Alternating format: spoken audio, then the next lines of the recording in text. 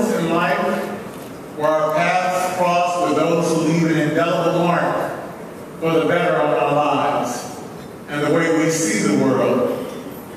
Reverend B. Herbert Martin, a champion for marriage equality in Chicago, left such an impression on me.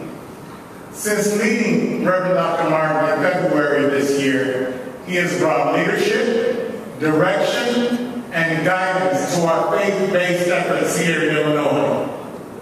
Through his collaboration with Reverend Dr. Otis Moss III, they collectively met with fellow clergy, legislators, and thousands of people of faith to convey the importance of marriage equality as a value supported by our faith, not in spite of our faith.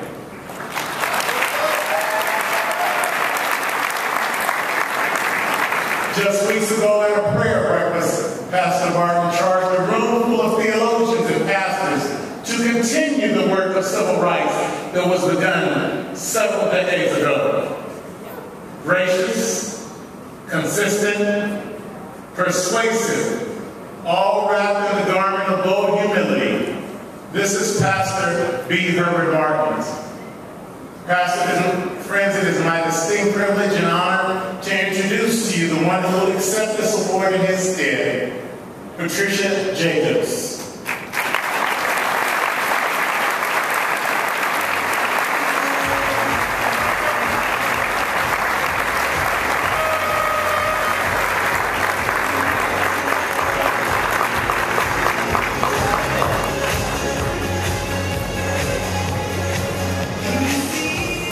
Good evening, everyone. It is with great honor I am accepting the Community Equality Award on behalf of my pastor, Pastor B. Herbert Martin Sr. Dr. Martin sincerely regrets that he cannot be present to accept this very distinguished award given to him by the Chicago chapter of the Human Rights Campaign. Dr. Martin congratulates his fellow awardees, Linda And Groupon, Groupon for their contributions and accomplishments to human rights and their recognition at tonight's gala affair.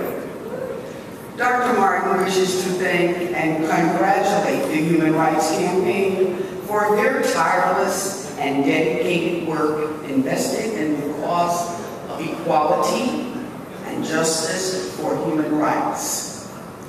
He wishes that you know that he remains totally committed to the cause of equality, justice, and freedom for all individuals, regardless of your race, ethnicity, sexual identity, or physical challenges.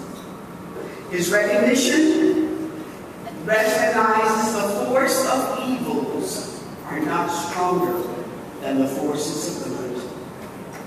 The Human Rights Campaign is a powerful force for good of our society and needs the support of all people of goodwill.